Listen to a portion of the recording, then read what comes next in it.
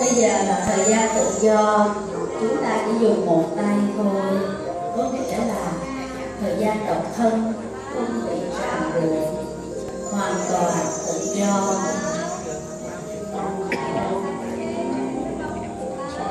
Hai tay có nghĩa là như hình với bóng, cùng nhau đi một lúc. Đây là thời gian chúng ta có gia đình, vợ chồng lúc nào cũng cùng đi với nhau, như bóng với hình. Anh đi trước, em theo sau. Và bây giờ là khai mở để thấu biết.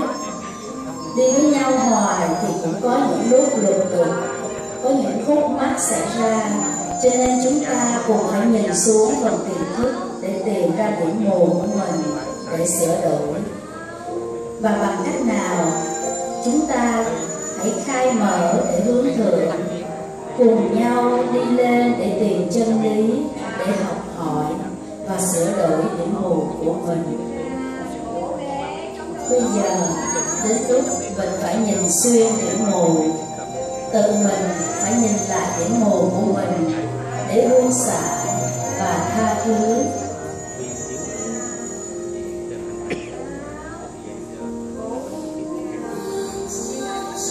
Bây giờ hãy nhìn lại quá khứ, nhìn lại lỗi lầm của quá khứ để ghi nhận và buông bỏ để cùng nhau hướng về hiện tại và tương lai.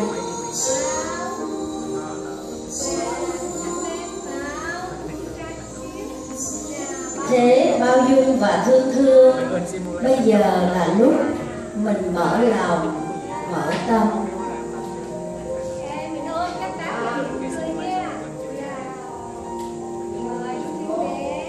Cuộc đời mình sẽ những lúc, tới lúc mình già đi. Nhưng đừng nghĩ mình vô dụng, mà hãy đem kiến thức học hỏi được ra giúp đời, giúp người. Thế này gọi là thế nhất bổng vũ trụ.